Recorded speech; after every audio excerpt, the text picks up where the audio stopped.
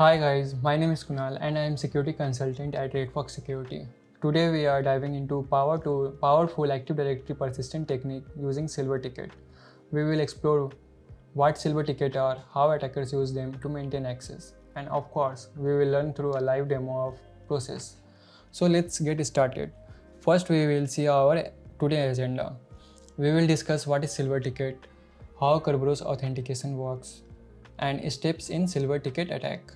And we will move to the practical of Silver Ticket.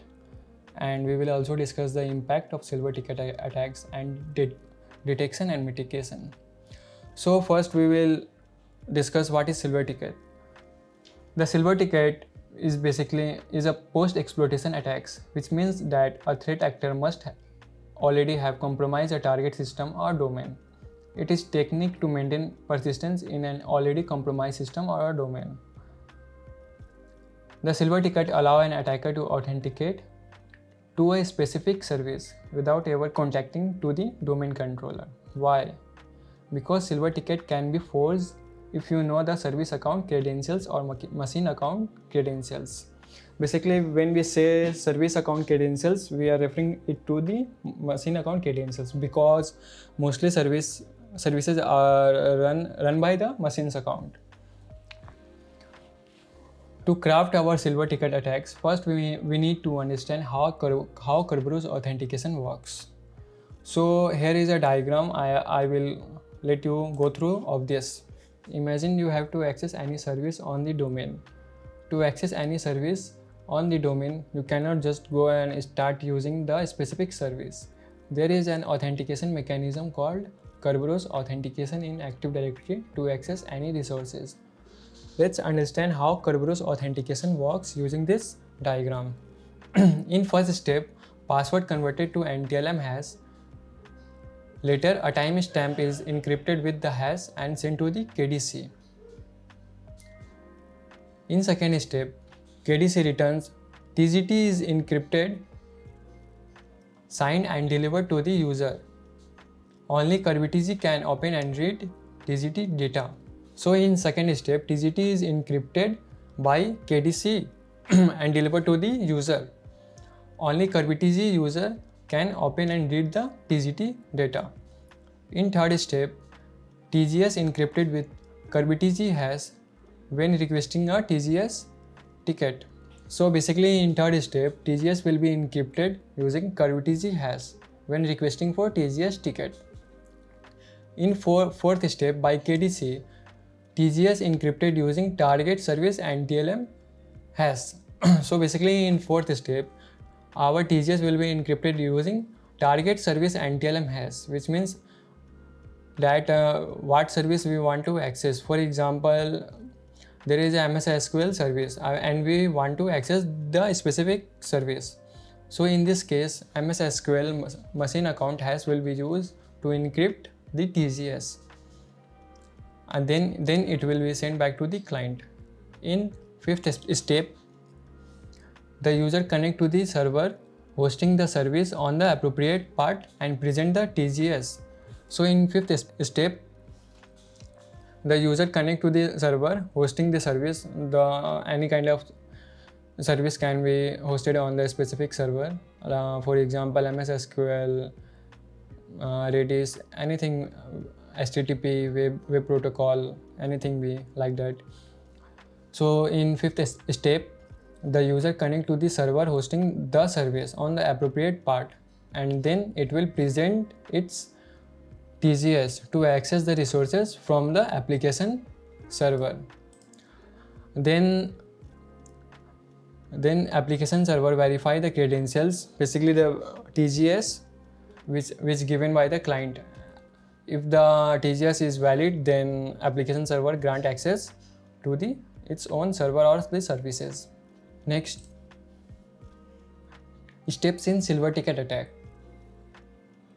So for force the ticket or create the ticket, attacker must know the NTLM hash of a service account, basically machine account. Uh, we can forge or create the ticket uh, tools like Mimikaz. The attacker can create or forge a valid service ticket using compromise hash of machine account. then there are many services we can access uh, using silver ticket. Uh, the first one is http or host. Basically it is used for powershell remoting or winrm the second one is cifs used for windows file share. And third one is ldap used for ldap operation. There are many other service types you can check out on internet so basically after crafting the silver ticket, the attacker can continue using this ticket until it expires or the NTLM hashes changed. So in Active Directory, uh, in every 30 days machine account credentials are rotate, ro rotated. Next, we will use Mimikaz with the following flags or commands.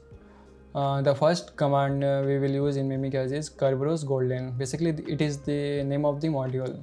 There is no specific module for silver ticket.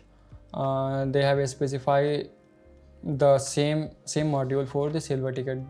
In silver ticket, basically we will only specify the service service flag, like uh, what kind of service we, we want to access, like CFS, HTTP, host, the second flag is domain. We have to provide the domain name, fully qualified domain name, FQDN basically, and the SID, SID of the domain. We will also see how we can how we can basically gather the SID of the domain in practical. And then target, basically the target machine FQDN, fully qualified domain name. Like uh, there is a like you have access on PC1 machine and you have credentials of DC so you have to specify the target DC and the service, what kind of service you want to access like CFS, CIFS, HTTP, host and we will specify AES key by using AES 256 flag. This flag, uh, this this basically will be the target target credentials. Like if we, we are we will we are using DC machine account as a target, then we will have to specify the credentials of DC machine account. And then we will specify the user, username for which TGT is generated. Basically, we will use administrator account and then we will use PTT flag to inject the ticket in the current process. We can remove the PTT flag to save the ticket into a file and then we can later use the ticket to, to basically access the machine account or the services. Next, preventing silver ticket attacks. Basically, preventing silver ticket attacks is really tough because there is no enrollment for domain and there is no enrollment of domain controller in this attack. So no MDI, no sensors like CrowdStrike. Um, but still we can follow some of the mitigation tactics to prevent this uh, the first one is implementing the strong password policies like rotating the password of the machine account in like frequently not in like default one and then using the privilege access workstation and enable Kerberos armor armoring regularly rotate service account passwords implement least privilege principles. Okay now let's move to the practical part of this video. So Imagine we have compromised a domain and we have gathered the following credentials of a machine account. Uh, the following is the machine account name batcs and we will forge a silver ticket to access the following service of, of this machine. To craft our silver ticket we will use Mimikaz. So first let's open the Mimikaz folder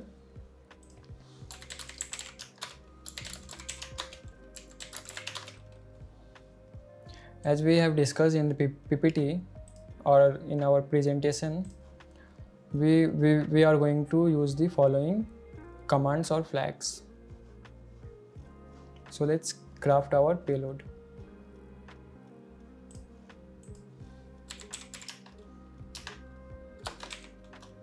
We will use Kerberos Golden module.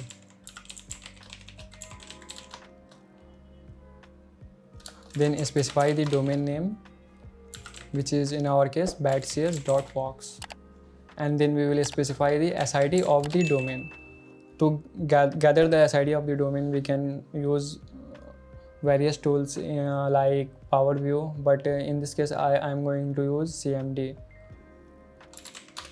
Just type CMD and type who am I forward slash and user. This command will give you SID of your current user. And this will be your current user ID and this part is your domain SID so we we only need the domain sid so just let's co let's copy the domain sid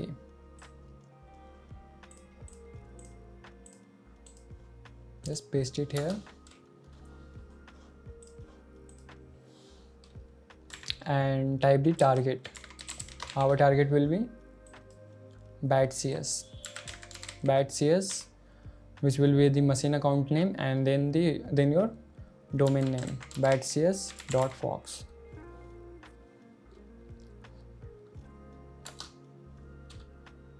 Then type what kind of service we want to access. In this in this video we are going to access file server. So just type CIFS and type the credentials of the that machine account. I will be using AES 256 basically in the format of AES. Just copy the credentials and type the username. We will use administrator and we can uh, specify the PTT flag to inject into the current process or we can leave it uh, so if we don't specify the PTT flag, it will save the ticket into a file. But uh, for that moment, we do not want to save into a file. We will inject it into our current process and then type the exit, exit command and press the enter okay. So the our mimikatz binary has been detected by the virus and um, basically the protection of the windows defender uh, let me first disable the virus and threat protection. Just wait. Okay i have disabled the antivirus of the current windows host to run the mimikatz binary. Let's first ex extract the binary again because the windows defender have removed it. Mm, just yes to all. And then we will run our binary again with the following commands. Just press enter.